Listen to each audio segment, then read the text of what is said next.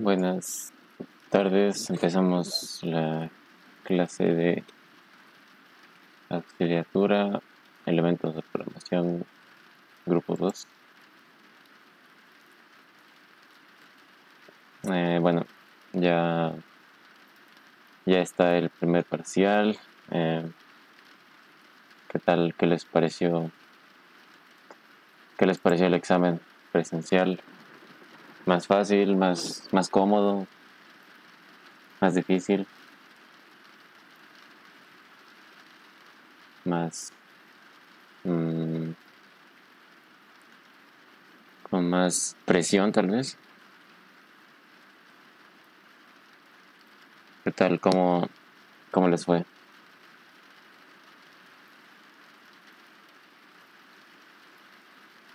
Bien, mal. Les voy a hacer encuesta.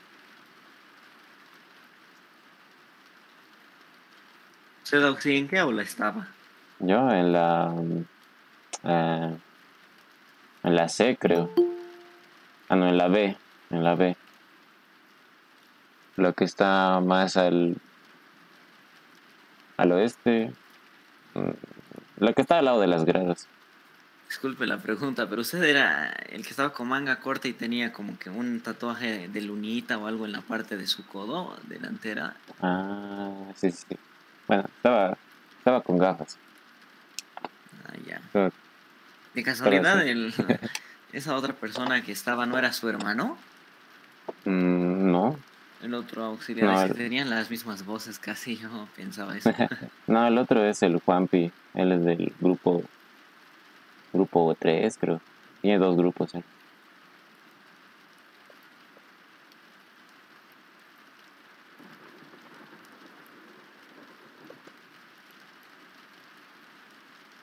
Y entonces, ¿qué podríamos hacer?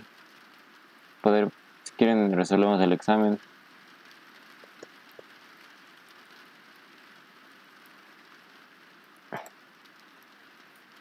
Por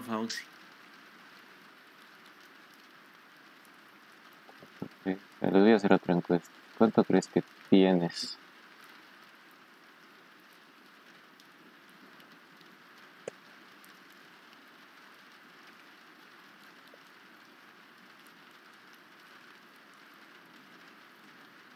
A ver. A ver, dos encuestas para que hablen anónimamente. Eh, bueno, creo que no han pasado ninguna clase con la Lisen porque a ustedes les toca el lunes. Entonces, bueno, eh, las notas de, de, la práctica, eso les voy a, eso les voy a, la nota del primer parcial de auxiliatura, eh, todavía no es revisado. Bueno, supuestamente ya está revisado, pero yo tengo que verificar si no hay copias y cosas así, igual los que no los que no han tenido accepted, digamos, igual les voy a poner la nota dependiendo cómo han codificado y todo, ¿no? Y eso les voy a les voy, les voy a enviar como mensaje en a ver, se les voy a mostrar.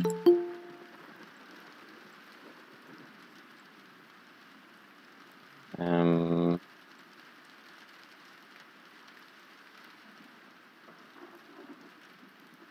digamos, em,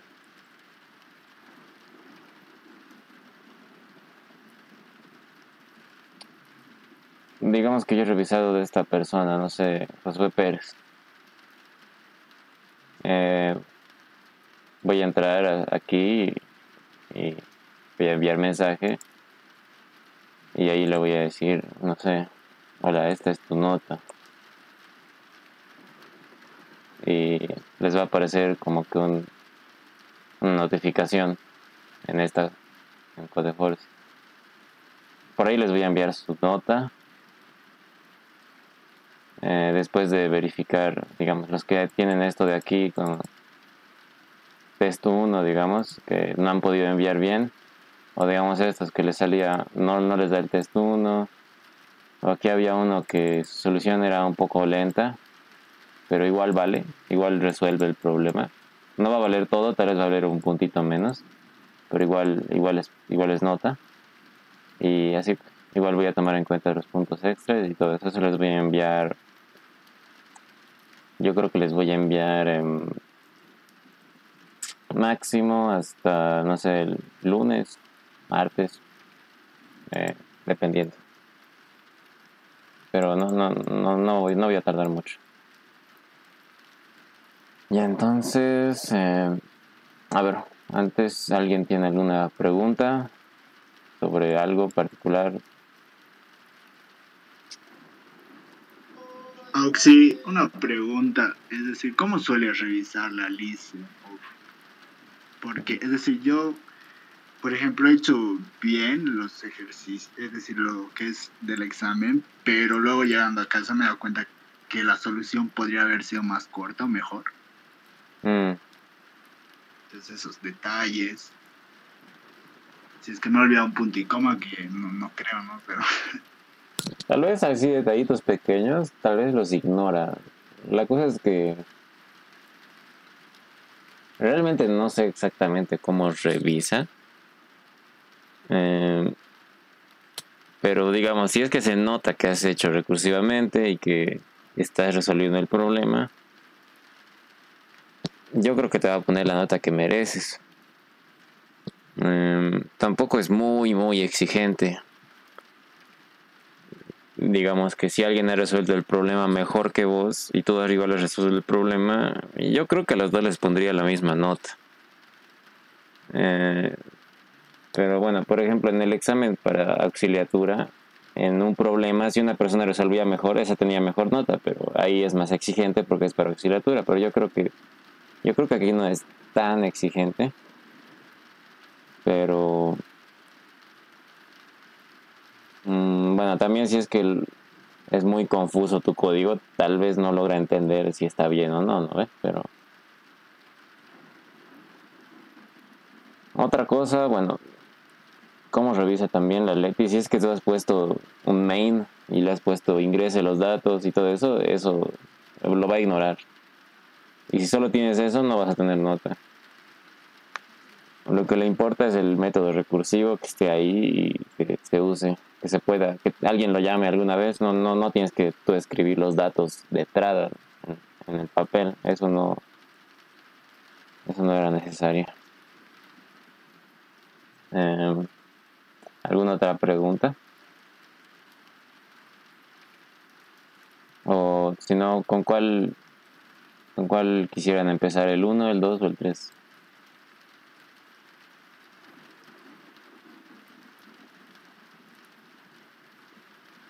El 1 si se puede, sí, porfa. Ya. Con el 1 tal vez, tal vez era el más asible. Yo, yo si hubiera hecho el examen hubiera hecho primero el 2. Porque el 1, bueno, su anuncio era muy largo y bueno, era un poquito confuso. Y era bien abierto a interpretación era bien abierta a interpretación. Como que aquí te pone negativo y esto de negativo no está entre comillas. Eso está bien raro, como que no es un string, tampoco es un entero. Esas muestras igual pueden entrar como enteros, eso igual estaba probando ni como longs. ¿Cómo? ¿En las qué? Lo que es la muestra, los numeritos no pueden tener como entero ni como long, por ejemplo. Ah, bueno, sí, sí. Bueno, esto, bueno, esto entra como long, pero bueno, con un cero es un poco raro también. Eso, por ejemplo, es decir, ¿será que va a checar de que, por ejemplo, yo le puse como parámetro que sea un int? Sí, no, no creo que haya mucho problema con eso. Aunque este cero a la izquierda, obviamente se va, se va a borrar. Entonces, bueno. Es un poco raro. También aquí dice, puedes apoyar tu razonamiento de la solución en conceptos de PO. Entonces, bueno, primero analicemos. Analicemos eh, a directo a lo que te pide. Lo que te pide es... Eh, es de lo que te pide. Esta era la oración más importante. Más propiamente, quieren saber cuál es el porcentaje de la población de la muestra que representa sociedad en peligro mortal. Esta era la, la línea importante, digamos.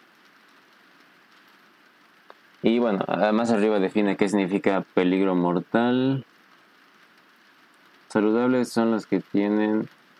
Los que no tienen algún dispositivo también son presumiblemente sanos. Uh, ah, sí. Se dice que un habitante tiene riesgo de mortalidad cuando su composición tiene todos los dígitos que identifican algo negativo. Entonces, aquí nos decía que, bueno, si se tiene esto, el resultado va a ser 33%. Y aquí dos habitantes tienen los dígitos con todas las cosas negativas. Esos dos habitantes, o sea, primero, ¿cuáles son los dígitos? El 1, el 2 y el 3. Entonces aquí te dice que hay dos habitantes que tienen esos tres dígitos. Y bueno, en este caso es Aquí tiene el 1, el 3, pero no tiene el 2. Aquí no tiene ni uno de los tres. Aquí tiene el 3. Aquí tiene el 3, el 1, el 3, el 2 y el 1. Aquí tiene el 3 y el 1, pero no el 2. Aquí tiene el 2, el 3 y el 1. Entonces estos dos serían, este de aquí y este de aquí, son mortales porque tienen todos los dígitos de aquí. Entonces, bueno, esa era la interpretación que, bueno, yo creo que es correcta. Eh, Ya, entonces aquí tendríamos dos cosas, como que tenemos esta tabla y aparte tenemos una muestra. Entonces podríamos decir que ya la tabla ya la teníamos y nosotros recibimos muestras, si es que queremos hacerlo como que con conceptos de PO. Entonces,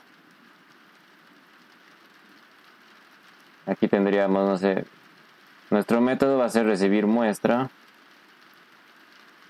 Recibir muestra y recibimos muestra y devolvemos, bueno, procesamos y devolvemos porcentaje.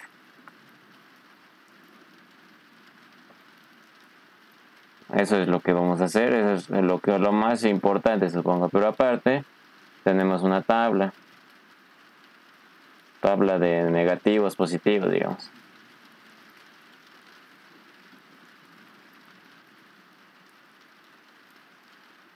tabla de negativos positivos y bueno, en esta tabla se compone de dígitos, ¿no?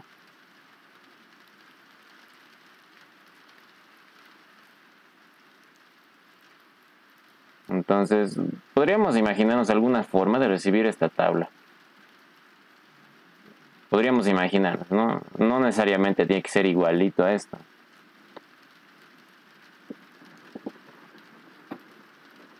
Entonces, eh, aquí arriba también nos dicen, si queremos hacerlo en PO tenemos que identificar clases, ¿no? Entonces aquí que, hay, hay, concepto, categoría, dígito asociado. Estas podemos ver estas tres palabras claves, ¿no? En esta tabla. Entonces podríamos, para hacer PO hay que rescatar del enunciado los palabritos. Tenemos el dígito, el concepto y la categoría. Estas tres cosas tenemos. Pero este es un dígito asociado. Entonces en este caso yo podría ver que estas dos cosas están juntas. Y esto es algo asociado. Y a ver, a ver. Biocomposición, bla, bla. Entonces aquí recibimos habitantes. Podríamos recibir habitantes podríamos recibir habitantes. Habitantes. ¿Y qué tienen los habitantes? Composición. Los habitantes tienen composición. Tienen composición y es un entero. Bueno, aquí quieren le dicen entero. Si quieren string, pero bueno, entero le vamos a poner con entero int. Y concepto podría ser string. Categoría, bueno, esto de colocarle directamente negativo y positivo se puede. Tal vez algunos conocen los enums. Los enumerados en el que podemos directamente colocar así por así. Eh, para no complicarnos le vamos a poner aquí booleano nomás. Booleano. El booleano va a ser es positivo. Es positivo. Entonces si es verdad, si es verdadero es positivo y si no es negativo, pues no. Entonces, así. Tenemos nuestra tabla ONS. Se dice que un habitante tiene riesgo cuando su composición contiene los dígitos que significan según la ONS. Entonces, la tabla, tabla ONS le podemos llamar. Entonces, bueno, primero, ¿cuántos dígitos existen? Esto igual hay que delimitar. Dígitos.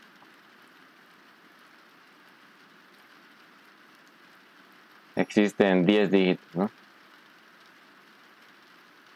Hay dígitos del 0 al 9.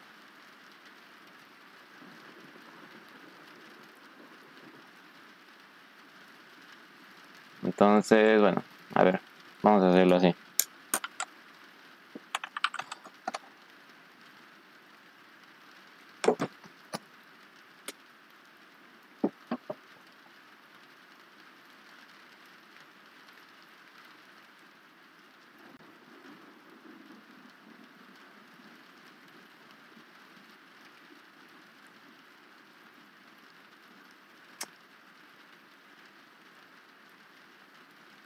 No sé qué pasa.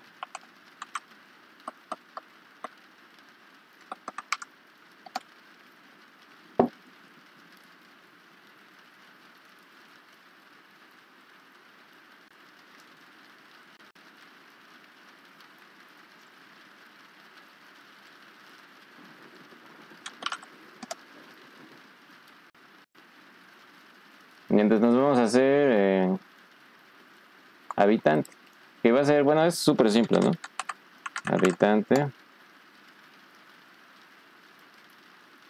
Este es solo para perder el tiempo, pero.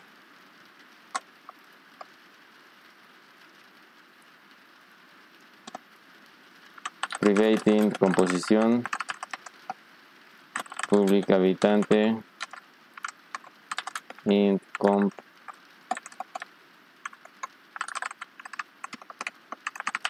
Igual comp. Y aquí, no sé, public int. Get composición.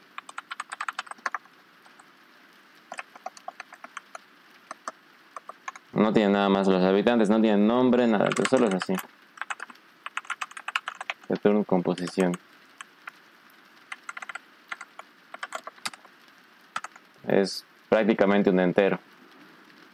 Luego eh, tendríamos estos de aquí que se llamaban eh, hábitos aliment hábitos hábitos es un hábito es un hábito. Hábito. Hábito. El hábito tiene concepto y categoría.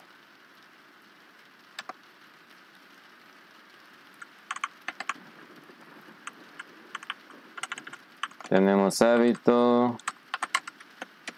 Eh, string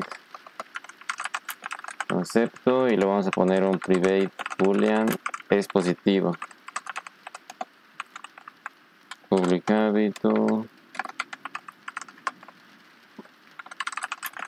Concepto. Boolean es positivo.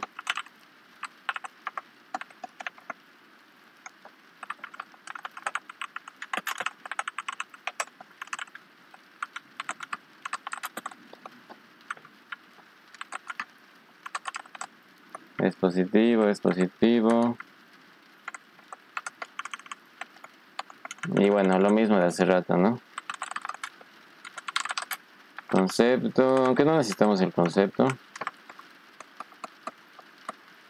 Get concepto. Aunque tal vez esto no hubiera necesario, no hubiera sido necesario, necesario hacerlo, ¿verdad? Tal vez simplemente le ponías ahí public, public, pero si no tenías nada más que hacer, de repente le metías esto. Boolean es positivo.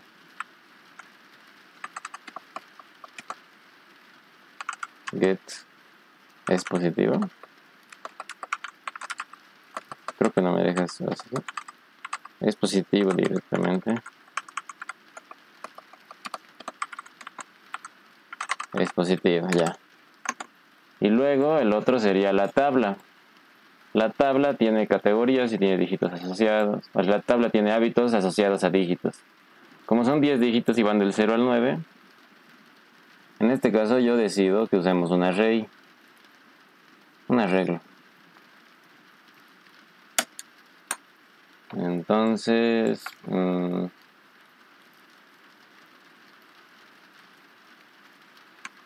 podríamos llamarle tabla ONS o podríamos llamarle em, un nombre más, eh, un nombre mejor, tal vez sería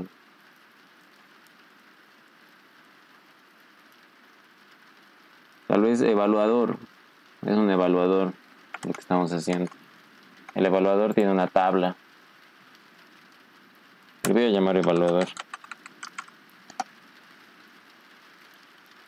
Evaluador ONS. El evaluador tiene una, un arreglo de, de hábitos. Private hábito. Tabla. El evaluador OMS inicia ONS. Entonces tabla es igual a new hábito de tamaño 10, porque son 10 dígitos. Si no hay más dígitos, no hay menos dígitos, siempre es con dígitos. Y bueno, aquí podríamos meterle algo como que asociar hábito, digamos. Public void o un boolean tal vez. Asociar hábito. Hábito y recibimos un dígito y recibimos un hábito. Hábito H, digo. Entonces, no sé, aquí se pueden inventar algo, ¿no? Eh, no sé. Boolean res es igual a true o false. El res si es que se ha asociado al hábito positivamente, ¿no? Aquí me estoy inventando, no necesariamente es boolean, le podrían dejar void, solo estoy me estoy distrayendo. No sé. Si es que el dígito es mayor o igual a 0 y dígito es menor o igual a 10, menor, menor o igual a 9.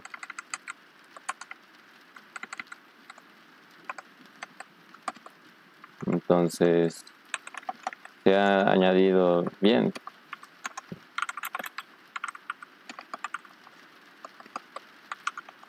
Y bueno, aquí simplemente asocio el hábito. Entonces simplemente tabla en dígito es igual a h. Entonces ya hemos asociado un hábito a un dígito. Aquí podríamos preguntar otra cosa, como que tal vez y tabla en dígito es distinto de null. Lo vamos a dejar así nomás. Entonces así hemos asociado un hábito. Y ya está, ya tenemos nuestra tabla. Ahora solo nos preocupamos por hacer nuestro, evaluar nuestro, nuestro método principal, que es esto de aquí. Y a esto le voy a llamar evaluar. Public.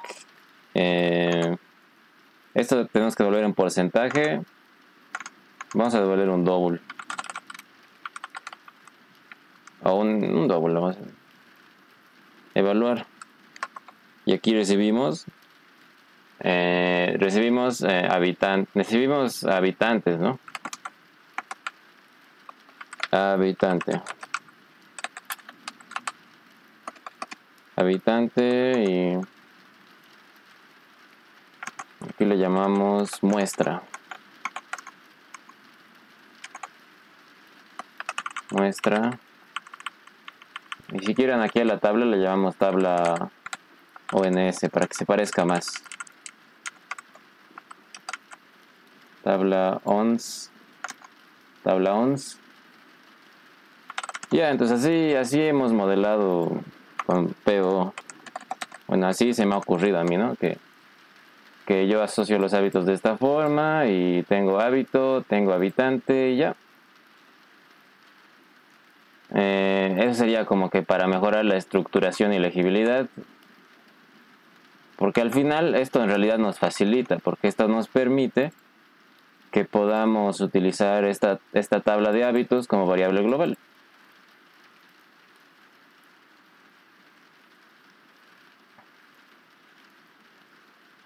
Ah, ¿Alguna pregunta hasta aquí? ¿O ¿Algún comentario? ¿Cómo, ¿Cómo lo hicieron ustedes? ¿O qué tal?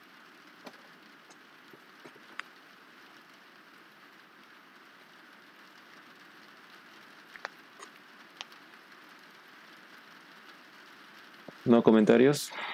Continuamos. Ya, entonces ahora sí. Ahora lo que tenemos que hacer es un método recursivo que verifique que todos estos positivos y todos estos negativos estén aquí. Bueno, en realidad solo los negativos. Entonces aquí, aquí hay que, aquí, aquí parece que hay algo más fácil que se puede hacer. Yo solo necesito los negativos. Solo necesito los negativos. Entonces, la tabla mm, más o menos me vale, ¿no? Solo me importa los negativos. Entonces, eh, vamos igual usarlo. Aparte, yo me puedo, aquí me puedo poner un contador de negativos. Private int, negativos. ¿Cuántos negativos existen? Al principio existen cero.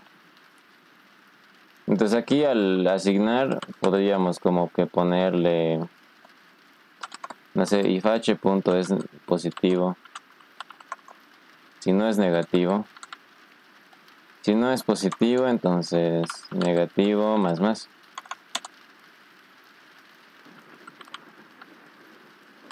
Negativos más más. Entonces ya sé cuántos negativos hay. Y bueno, aquí podríamos como que ponerle otra cosa más. Eh, no sé. Si es que hábito en dígito no es null y hábito porque digamos digamos que lo estamos sobrescribiendo no lo estamos eh, colocando de nuevo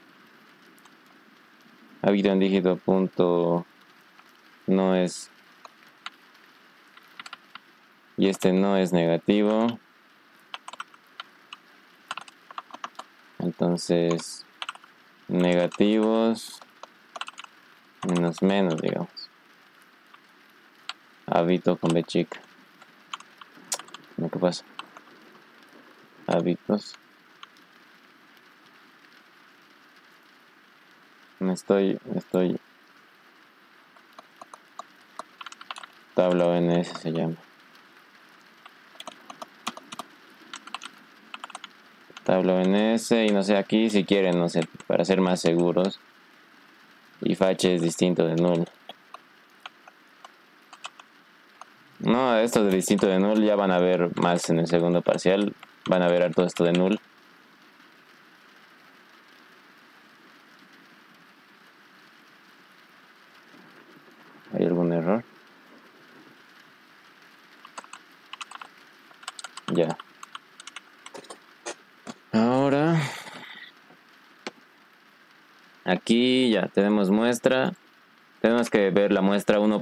y tenemos que ver el porcentaje, ¿no?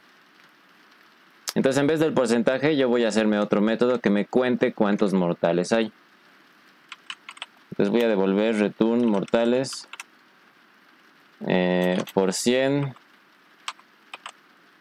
dividido entre muestra.length.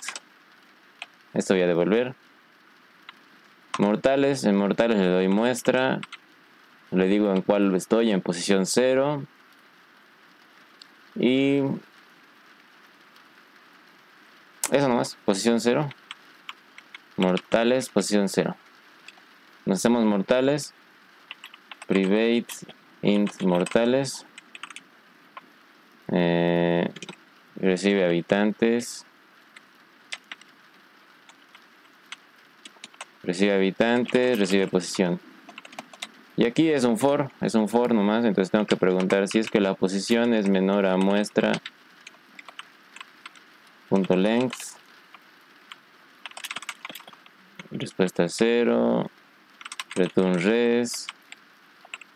Y aquí le pregunto bueno aquí hago lo que quiero no simplemente si es que es mortal muestra en post entonces res es igual a 1. Res más igual mortales muestra post más 1. Entonces ahora tenemos que saber cuándo es mortal. Para saber cuándo es mortal tenemos que ver si tiene todos los todos los negativos, ¿no? Entonces esto ya es un poco raro porque aquí se pueden repetir los negativos. Entonces, lo que vamos a hacer es contar los negativos. Vamos a contar los negativos. En vez de pasarle muestra, le vamos a pasar get composición para ser directo con el número. Composición. Eh, luego le pasamos cuántos negativos tiene. ¿Cuántos negativos tiene que haber? O sea, cuántos negativos hay hasta ahorita. Y bueno, eso lo tenemos que ver. Porque tiene que tener todos los negativos, ¿no? Entonces, aparte, podemos pasarle una tabla. Una tabla que me marque qué negativos tiene. Y esa tabla se, bueno, es paralela a esta tabla de aquí. Entonces tenemos, tenemos otra tabla. Esta tabla va a ser un booleano. De booleanos. ¿Y cuántos negativos tiene? Hasta ahorita cero.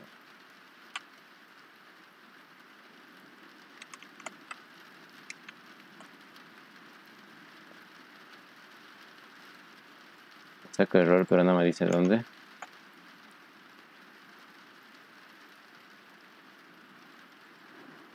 Mm.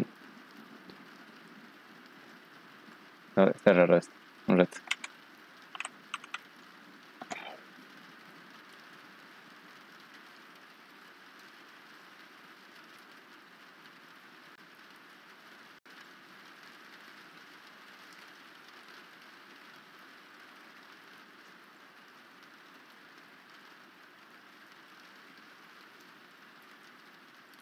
Existe mortal. Ahora tenemos que saber si un número es mortal. Mortal. Int n lo vamos a llamar. Y aquí recibe nuestro nuestra tabla de booleanos. Y cuántos negativos tenemos. Entonces, Aquí lo que podemos hacer es preguntar si es que el dígito es mortal. Preguntar si es que el dígito es malo. Y preguntar si es que el dígito no está... Eh, si es que el dígito no está en la tabla también. Podríamos decir, no sé, int dígito. Este es boolean dígito es igual a n módulo 10 y bueno si es que n es mayor a 9 así aquí le podemos poner res es igual a true res es igual a res y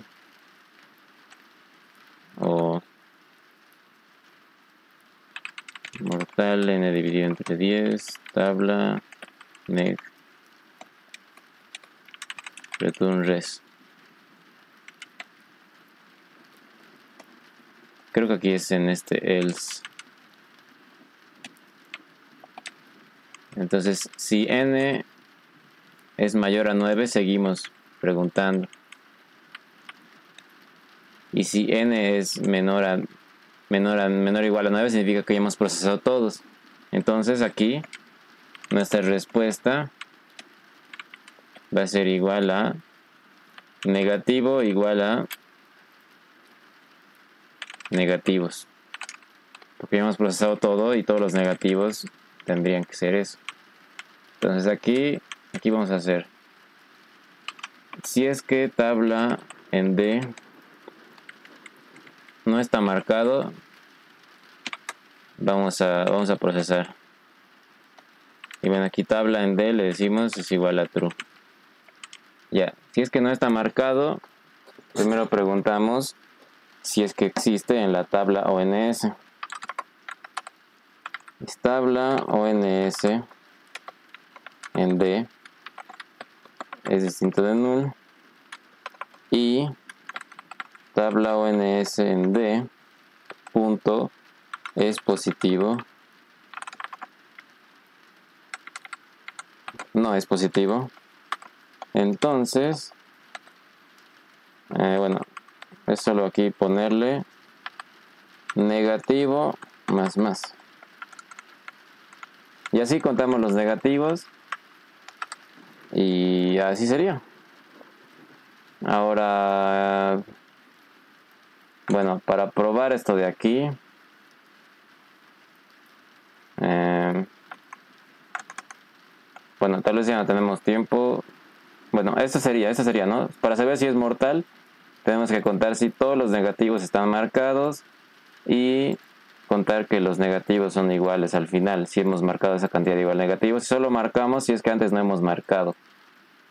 De esta forma estamos ayudándonos de un arreglo, porque sabemos que los dígitos son fijos, solo hay 10 dígitos máximo, entonces nunca se van a asociar más de 10 dígitos. Si fuera asociado con otra cosa, tal vez ahí necesitábamos, no sé, ahí Mm, los hash tables, pero tal vez no conocen, pero bueno, como los dígitos son fijos, suficiente con una tabla de 10.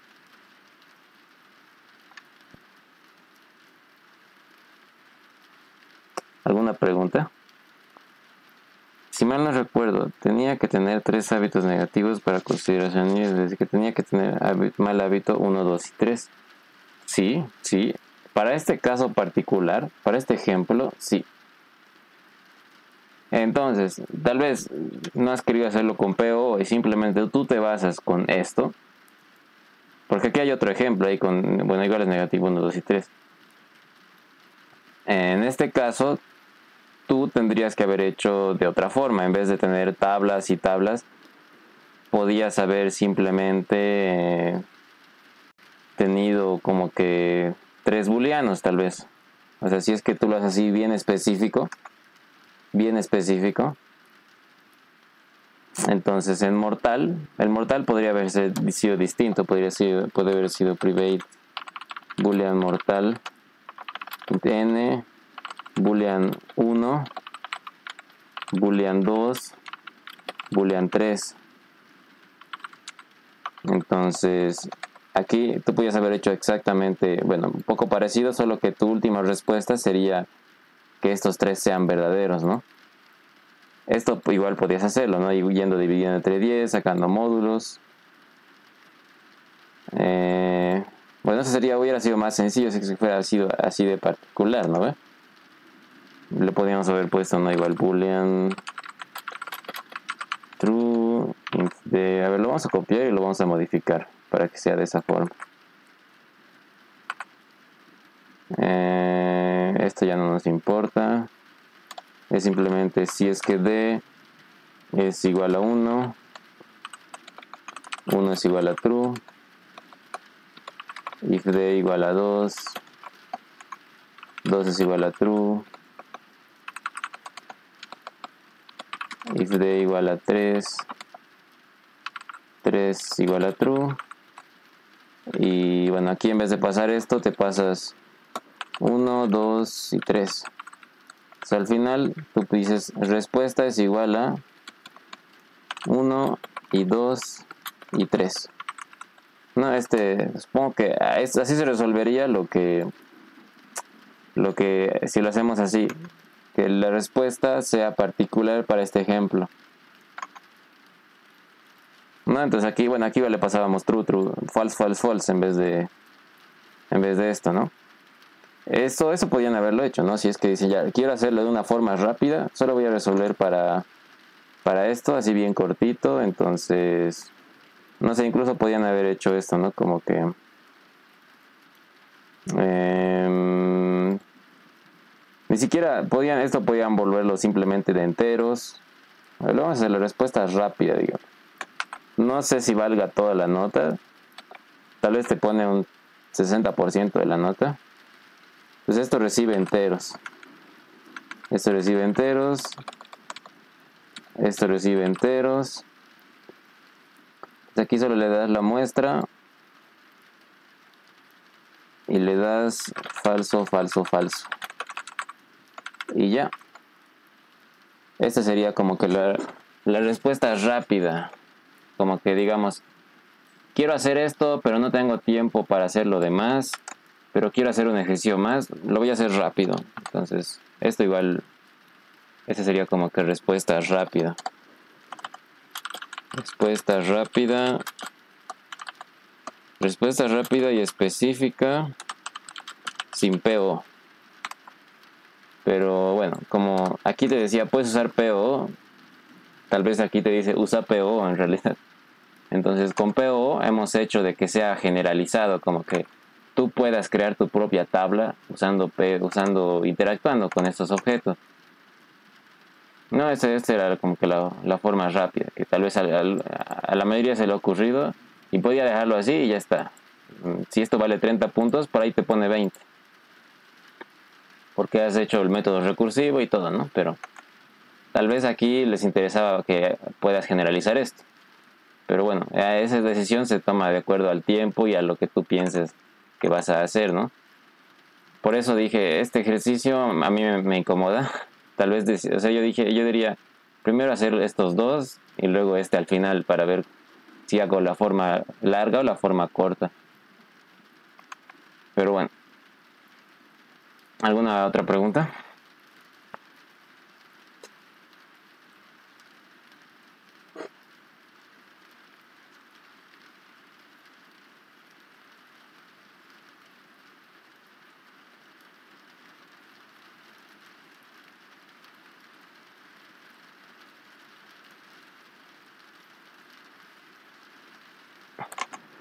Bueno, esto de usar PO siempre le añade su nivel de dificultad, ¿no? Porque en realidad cuando ustedes vean algo de P que tengan que usar PO, tienen que hacerlo usable, digamos. Tienen que convertir este ejercicio en algo que se pueda usar.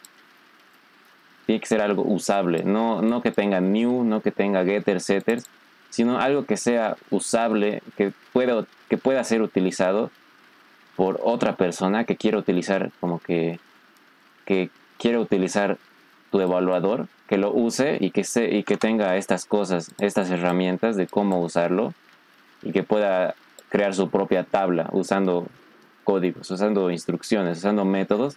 Eso es usar PO. Eso, eso, eso significa usar PO. Es muy importante saber estructurar estas cositas porque bueno, esto lo vas a usar, esto es muy esencial para, para la vida, digamos para la vida de programador, de desarrollador. Saber manejar estas cositas con PO es, es vital. Eh, y si no, bueno, si te gusta solo recursividad, bueno, esta era la opción. Que es, eh, bueno, ese ratito se, se, codifica también, ¿no? Es eh, iterar sobre la lista, contar cuántos son, para contar hacemos esto y ya está. Es simple, para contar es simplemente eh, ir por los dígitos de un número, no es tan difícil, solo es dividir entre 10, sacar el dígito y bueno, esto de aquí. Ya, si no hay más preguntas, hagamos el 2. Hagamos el 2. Que básicamente era hacer un hacer un ordenamiento recursivo con, con el método de inserción. Y aquí te explica, te explica cómo es el método de inserción. el método de inserción es eh, simplemente tienes el arreglo, la lista, tú, o tú asumes que el primero está ordenado, luego ordenas esto, luego esto, y cómo haces, tú asumes que esto está ordenado, entonces te toca meter el siguiente. Donde lo metes, lo metes en el lugar en el que piensas que entra, que es en el primero, que sea mayor a este, lo colocas este a la izquierda, digamos, ¿no? Y luego los demás los tienes que desplazar. Entonces, bueno, ¿cómo se cómo podríamos dividir esto en etapas? Una etapa, bueno, un, un ciclo, digamos, es el que va y, uno por uno, ¿no? Que sería como que seleccionar este y luego buscar el que vamos a ir insertando, ¿no? Este, luego este, luego este, luego este. Es un ciclo. Luego, para hacer esto, tú tienes que ver en los primeros tantos elementos anteriores a este, tienes que ver en qué posición lo vas a insertar. Tienes que hallar la posición. Hallar post. Tienes que hallar la posición de dónde colocarlo. Luego de hallar la posición, tienes que insertar.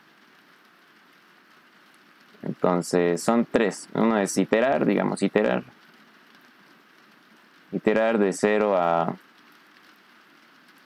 de 0 a n menos 1, donde n es el tamaño, hallar posición y luego insertar. Esas tres etapas tenía este. Era bastante, bueno, bastante directo esta pregunta. Era simplemente, esto esta es una pregunta, un ejercicio que te dice, haz esto y tú ya, lo hago es básicamente implementar. Si es que ya has hecho este ordenamiento en intro, mucho más fácil todavía, ¿no? Entonces, em, hagamos, hagamos esto, es más... La verdad el primer problema era como que más, podríamos decir más bonito de articular. Este es simplemente hacer directamente, ¿no? Incluso si tenías el código correcto, tal vez era solo copiar de tus apuntes, porque eh, tal vez por ahí deben tener un método, un código de ordenamiento de inserción. Creo que yo, yo tengo uno de burbuja en los que les pasé. Inserción creo, creo que no. Eh, ya entonces hagamos ese. Ejercicio 2. Entonces, muchos tenían problemas con eso de cómo recibo, cómo devuelvo. Eh, la verdad eso era decisión de ustedes, solo tenían que demostrar que están ordenando. Entonces, si por si no saben, si es que ustedes pasan un arreglo como parámetro, este se pasa como referencia. Entonces, eh, si tú ordenas ese arreglo y lo modificas en tu método, ya no necesitas devolverlo porque ya está ordenado.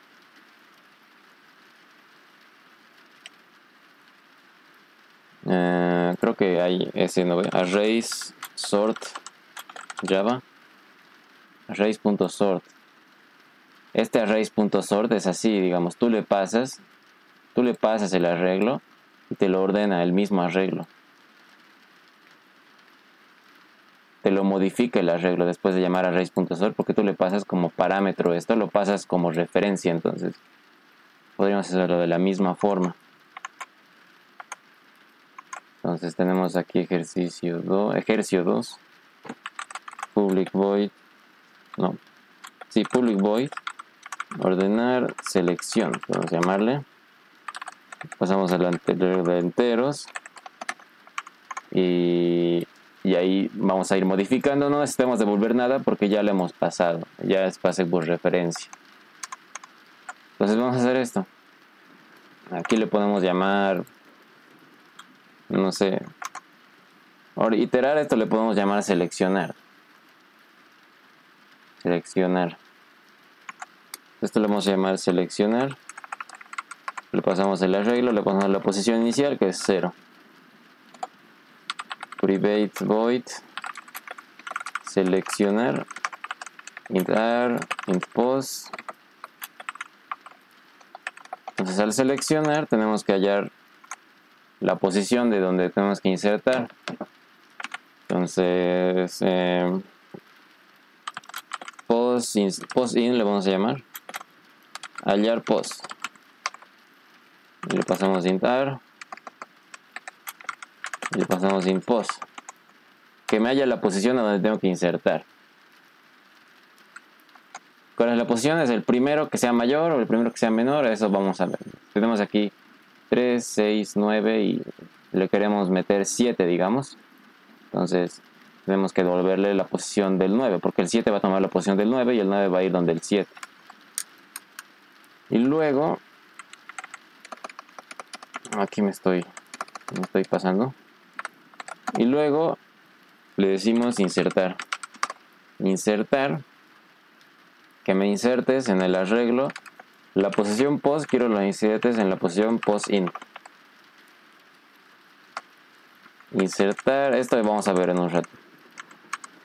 Y luego, ¿qué hacemos? Llamamos a seleccionar el siguiente. Post más 1. Y bueno, esto siempre lo hacemos si es que estamos adentro, ¿no? Entonces es como un for. Si es que la posición es menor al arreglo.length, entonces recién hacemos todo esto. Ya hemos hecho el seleccionar. Ahora veamos el hallar post. Hallar post entrar post y bueno aquí parece que necesitamos necesitamos cero más y lo vamos a llamar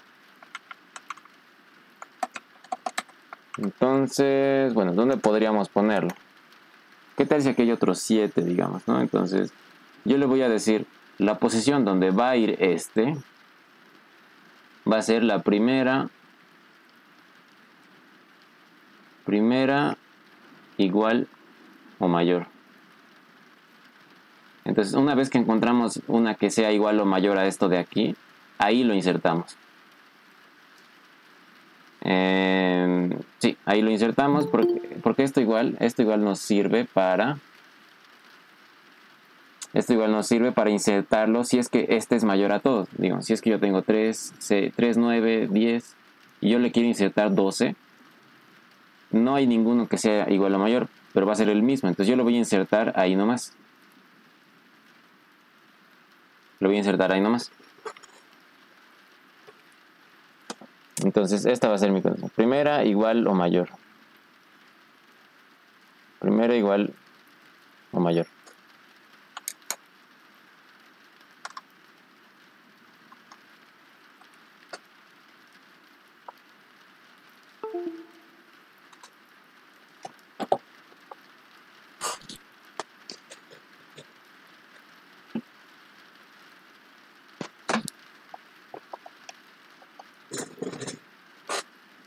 La primera igual o mayor. Entonces, aquí tenemos nuestra respuesta que, que, sea, que sea i, digamos. Si es que el arreglo en la posición i es menor al arreglo en la posición post, entonces mi respuesta no va a ser i, mi respuesta va a ser hallar post en, en i más 1. Entonces ya hemos hallado la posición. Hallamos la posición. Y luego insertamos. Nos queda el insertar.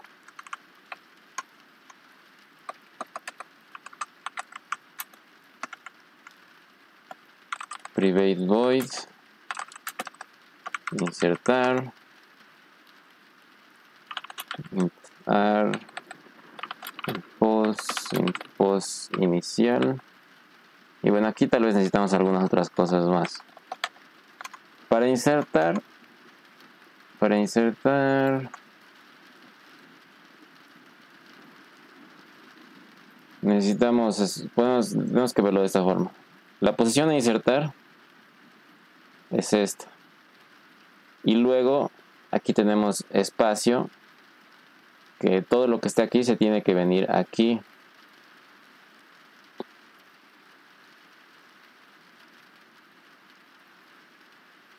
Lo que insertamos es lo que viene de aquí a aquí. Entonces, aquí es un poquito peligroso, porque si yo asigno esto a esto, y luego esto, esto se va a copiar todito. Digamos que hay un 5, un 6, un 7, un 8, un 9. digo ya, 6 igual a 5, 7 igual a 5, 8 igual a 5, 9 igual a 5. Entonces, para hacer esto hay que hacer primero guardarnos esto de aquí, guardar, y luego ir asignando al revés. Esto igual a 9, esto igual a 9, esto igual a 8, esto igual a 7, esto igual a 6, esto igual a 5. Y luego este recién igual a lo de aquí. Entonces, bueno, eso, eso vamos a hacer. Entonces nuestro insertar va a ser como que un desplazamiento a la derecha y luego una asignación.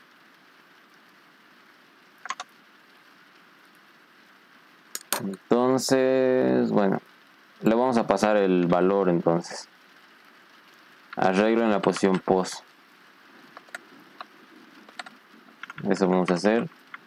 Estamos en pos y tenemos que llegar a pos inicial.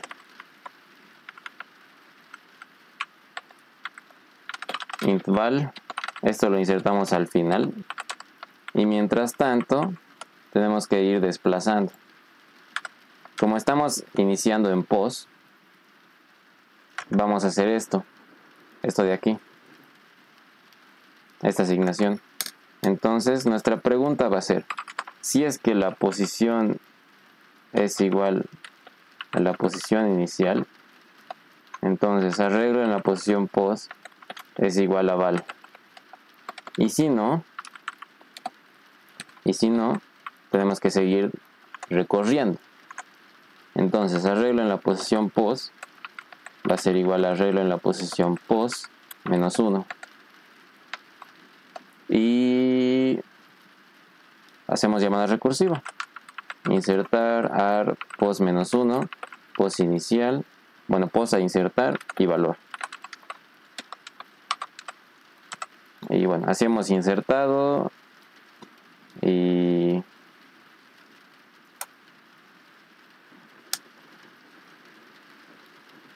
lo probaremos, lo probaremos.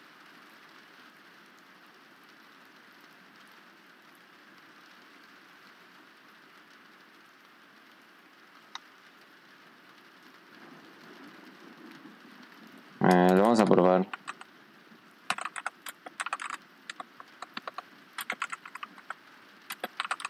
Si acaso, hasta aquí ya está el código, no necesitan escribir más. No necesitan escribir más. Vamos a ordenar este, aunque no podemos copiar, ¿no? Eh, ejercicio 2, eh, ejercicio 2.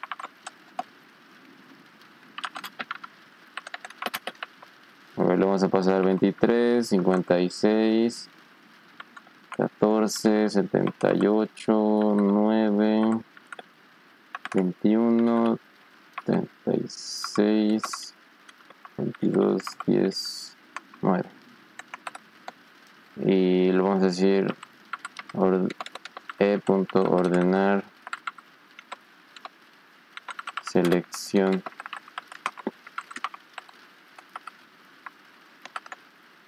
y bueno lo vamos a imprimir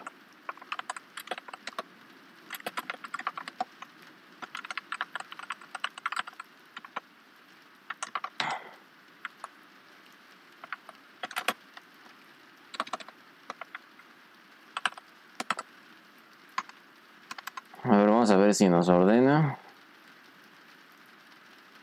Y nos ordena. Son dos nueve, dos nueve. Sí, dos nueves. ¿O no? 9, 9, 10, 14, 21, 22, 23, 36, 56, 78. Sí, está bien. Son dos nueves. Aquí hay dos nueves. Entonces, no los ordeno, ese es el ordenamiento por selección. Ah, no, inserción.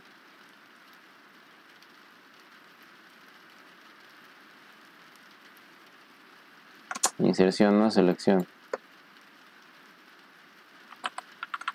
Inserción. Inserción. Seleccionar, aquí era insertar. Inserción la vamos a llamar. Inserción. Ya, ese sería el ordenamiento de inserción. ¿Alguna pregunta?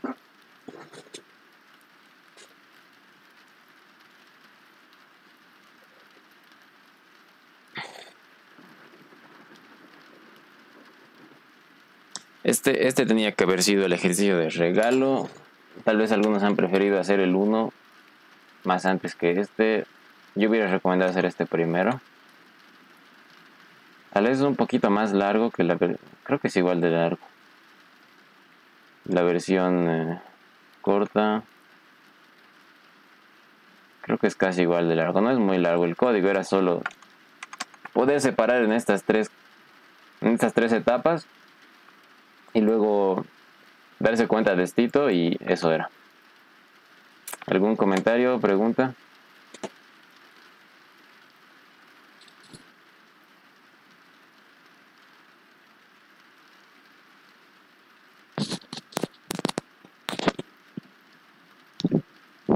Bueno, ahora el último problema que era de backtracking. Que bueno, ni tan, ni tan backtracking, o sea, no era tan... Eh, no era tan...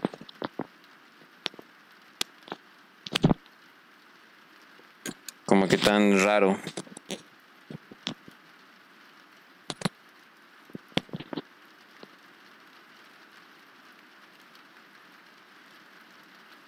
A ver, eh, con la Leti hicieron hicieron eh, combinaciones o conjunto camarilla?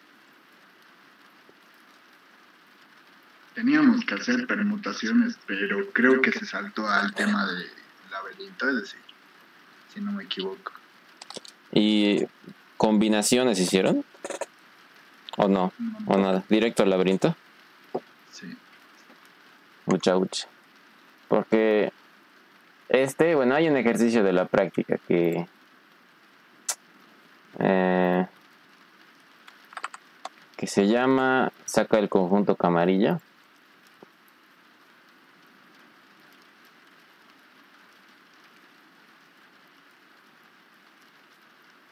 A ver. Camarilla.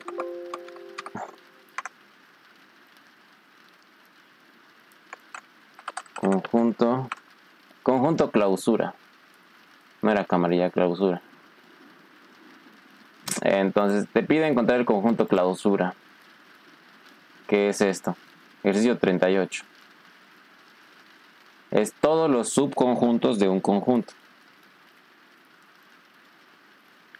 Entonces, bueno, esto es bien parecido a lo que te pedía Y aquí las, daba las condiciones, las restricciones eran bien, bien, bien orientadas a esto de aquí. Porque te decía, eh,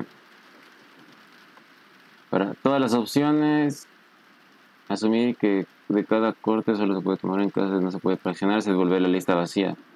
Caso contrario, la lista de respuesta contendrá a su vez todas las posibilidades de fraccionar dinero. Y aquí te dice, para fraccionar, esto se vuelve 5 más 3 más 2, 7 más 2 más 1, 7 más 3. Y aquí asumes que nunca hay dos cortes iguales. Aquí te dice, se tienen los siguientes cortes, o sea, 10, 20, 30. Y aquí dice, nunca son iguales. Un conjunto es así, tiene elementos únicos. Y eh, debes considerar que el problema no es posible fraccionar el billete en sí mismo. Este era, este era otro, ¿no? Esta era otra condición que había que poner. Y eh, bueno, aquí también, aquí también por debajo te está diciendo que no puedes utilizar una, un corte más de dos, más de una vez, porque si no, aquí una respuesta sería 5 más 5 y no hay 5 más 5. Entonces, esto era eh, generar este conjunto clausura y mientras lo generas vas preguntando si es que suma si es que suma eh, si es que suma lo que quieres fraccionar. Entonces bueno igual es igual esto es backtracking porque tienes que ir eh, generando no pero eh, habiendo conocido esto de aquí ya estaba si tú tenías el código de conjunto clausura ya la tenías hecho a ver, ¿alguien de aquí tenía código de conjunto clausura? Tal vez no, ¿no? ¿Alguien, alguien? Oh, ¿y lo has usado? Sí, pero no me ha dado tiempo para escribir el último uh, No, no, no, no. Es decir, sí creé el conjunto, pero lo que estaba haciendo luego era como que estaba iterando sobre los subconjuntos, ¿no ve? Y lo que has dicho al final de sumar. Y me faltaba eso. Solo eso. Porque el conjunto ya, ya se. Ya sí, se sí, sí. sí, era mientras lo construyes, tienes que ir cortando. Tienes que ir cortando las opciones inválidas. A ver, vamos a buscar un código que yo tengo. Pero bueno, si tenías el código y no lo has usado, has, hayas, has fallado un penal ahí. A ver, 1 2002, 1 2021. Clausura.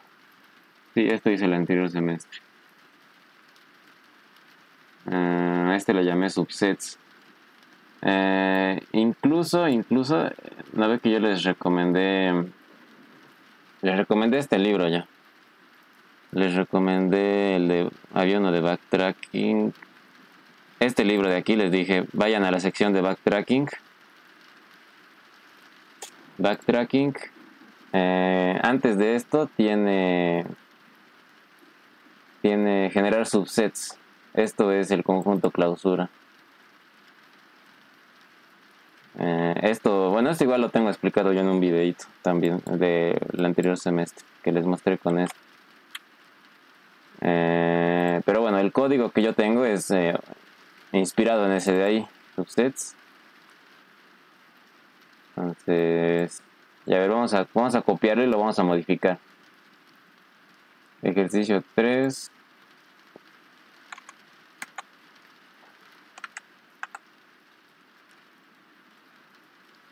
Entonces, y bueno, modificar un código no es, no es trivial, ¿no ve? Para poder hacerlo hay que entender la idea base al menos. Ejercicio 3.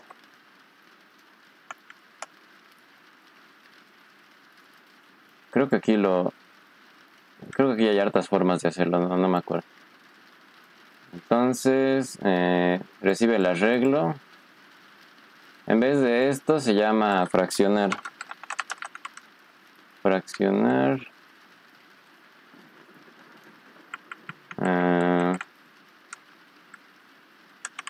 Esto tiene que devolver un...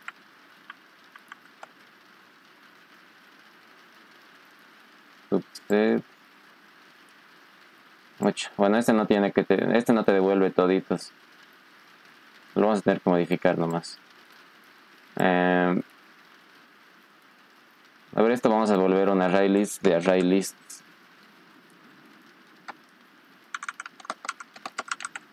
Array list de array lists y aquí tenemos que igual array lists de array lists. Eh, no sé res le podemos decir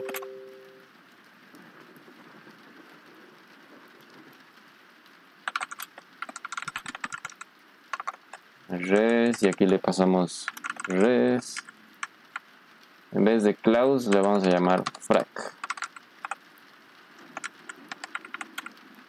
Y bueno, aquí hay que escribir esta cosa grande. Res. Esta se llama frac. Y bueno, aquí... Es que aquí yo lo hice con print. Print, print. Este me imprime un array list. Lo vamos a usar más rato. En vez de, aquí la, la opción era, aquí la, el final era si es que hemos llegado a la suma. Esto es cuando hemos llegado al final. Cuando hemos, eh, cuando hemos generado el subset. Pero aquí tenemos que hacer otra cosa. Tienes que preguntar si es que la suma es igual a... Aquí tenemos que añadirle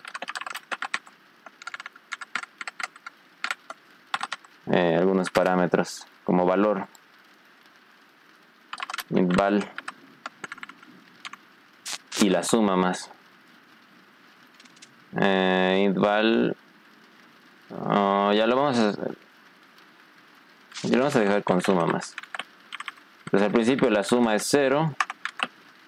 El valor es val.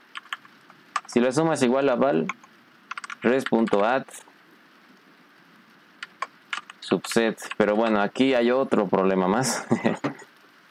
que estas cosas de aquí. Aquí le hice para... Me acuerdo que esto me preguntaron en el examen. ¿Cómo puedo eliminar el último elemento? Era así. Remove y le pasas el índice. Eh, aquí hay que hacer otra cosa. Hay que pasarle una copia porque estas cosas son por referencia. Eh, creo que hay una. Creo que hay un. No, sé. Copia. Aquí nos vamos a crear copia. Private array list integer. Creo que existe algún método de alguna librería que te lo copie directamente, pero ya ni modo. Release. Igual, esto podrían haberlo dejado como que... O sea, yo que recomendaría aquí que lo dejes como copia, pero si no te da el tiempo, no implementes el método copia, porque es... es eh, no demuestra mucho que esté resolviendo el problema.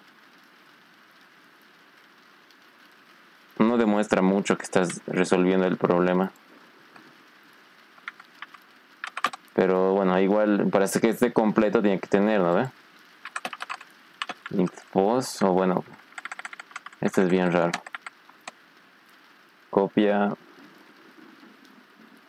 Esto es bien molestoso. Eso es lo que me molesta de Java del pase por referencia, eh, pero Java copy array list, creo que hay alguno. Creo que no. Ya nos vamos a copiar nomás. Array list, res es igual a new array list.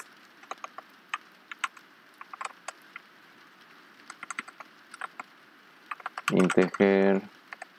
Y bueno, aquí copia resar 0 y bueno aquí necesitamos uno más uno más.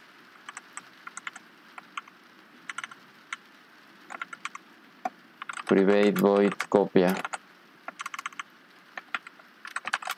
In post si post es menor a size entonces seguimos copiando.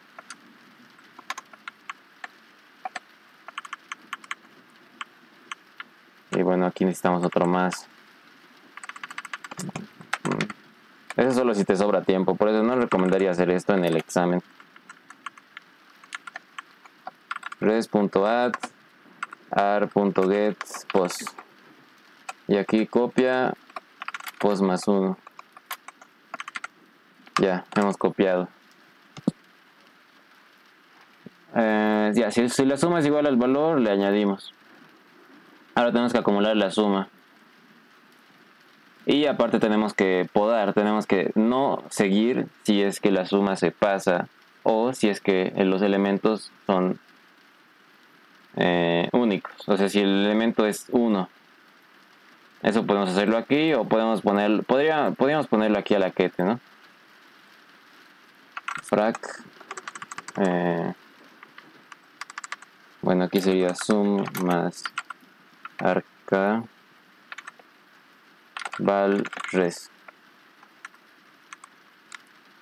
Y bueno, esta es la opción en la que no le suma, entonces solo suma val res. En vez de clause,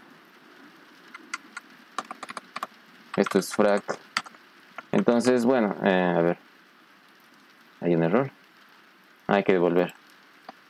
Return res. Eh, otro error. ¿Dónde está el error? Este search creo que... Esto no nos sirve. Esto tampoco. Combo, ¿qué era combo?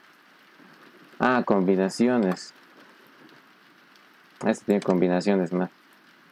Tenemos copia, return, res. Entonces, esto, esto aquí tenemos que ponerle nomás. Y subset punto size es mayor a 1. Esto no es backtracking, esto es camarilla, pero con estas opciones. Eh, vamos a probar si es que está, esto está bien primero. Ah, no, esto no es privado, es público. Probar.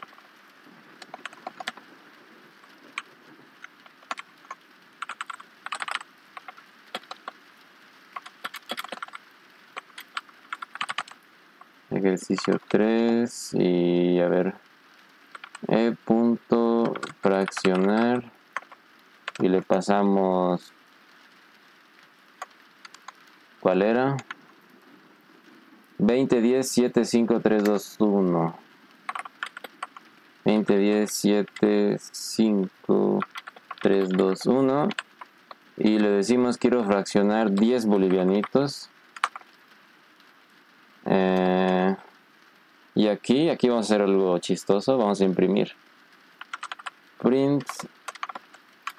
Y esto lo vamos a, vamos a iterar todito.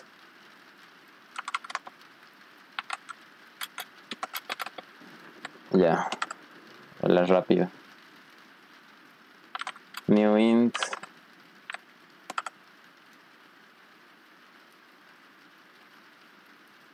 Non-static method e.print. Ya, estamos probando eh, con el camarilla. Y nos imprime 3, 2. Ah, 7, 3, 7, 2, 1, 5, 3, 2. Justo lo que queríamos. Solo que aquí me lo ha impreso el subset. Esto lo vamos a comentar nomás. Y aquí está, nos imprime la respuesta 73721 y 532. Correcto. Eh, solo que esto no es backtracking porque no estamos no estamos deteniéndonos donde tenías que detener. Estamos llegando al final y ahí estamos colocando. Para que sea backtracking tenemos que eh, detenernos cuando tenemos que detenernos. Esto es más esto es más ineficiente. Podemos hacerlo más eficiente haciendo preguntas. Como por ejemplo, antes de hacer esto, antes de hacer esto podemos preguntar si es que ahora en la posición K es menor a valor, recién añadimos. Entonces aquí estamos podando. Porque nunca no podemos añadir uno que sea de lo mismo valor. Y le podemos poner una condición más. Y ahora en la posición K más suma es menor o igual a valor. Y así evito sobrepasarme. Entonces aquí ya no tengo que poner esto de aquí. Solo esta condición. Y eso lo va a hacer más rápido. Igual, igual me responde. Entonces, eh, en backtracking se pone la condición antes de llamar recursivamente. Es el obstáculo, porque cuando nos encontramos con un obstáculo nos detenemos y no avanzamos. Estos eran nuestros obstáculos, de que no puedo colocar uno menor, uno que sea mayor o igual al valor, y no me puedo pasar de la suma. Entonces, esto solo va a ir generando todas esas sumas que vayan por ahí. Entonces, si se fijan, yo puedo hacer esto. puedo hacer un system out line y voy a imprimir sum y esto me va a imprimir todas las sumas por las que he ido recorriendo. Y he recorrido estas sumas. Todas estas sumas son menores o iguales a 10 pero si yo le quito esto de aquí y le pongo no sé eh, lo voy a bueno, lo voy a poner y subset mayor a 1 y esto le pongo lo voy a comentar. Me va a dar la misma respuesta pero es menos eficiente porque va a ir por muchas más respuestas. Si se fijan va por más respuestas. El doble el triple está haciendo. Entonces bueno si hacían así era no era modificar tanto pero para que, se, que esté completito biencito era colocando la colocando la condición antes de hacer la llamada y era como les dije modificar el código de mm, camarilla de clausura que bueno eh, yo le, esto yo di el anterior semestre y no está no, es tan largo es esto nomás está más largo esto de copiar. Pero bueno, eso sería su examen. ¿Alguna pregunta?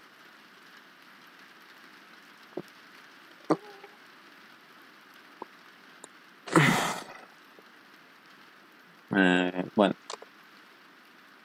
ojalá, ojalá les haya ido bien. Eh, no, no se desanimen, no se desanimen. Eh, pueden si se sacan 10, igual pueden aprobar tranquilamente. Eh, si se esfuerzan para el segundo parcial y en el segundo parcial digamos que se sacan, no sé, 50, significa que en el final pueden sacar 60, porque solo van a tener que estudiar el primer parcial de nuevo. ¿Ubican? Entonces, eh, no lo dejen, sigan viendo bien la clase, sigan intentando pero si es que no entienden la recursividad, ahí están un poco fregados porque eso, se eso es saber recursividad te facilita mucho la vida en el segundo parcial también. Así que bueno, si es que aún quieren seguir intentando, eh, sigan practicando recursividad y bueno, se puede, se puede si es que le ponen ganas. Eh, esa sería la clase. Nos vemos el siguiente miércoles. Adiós.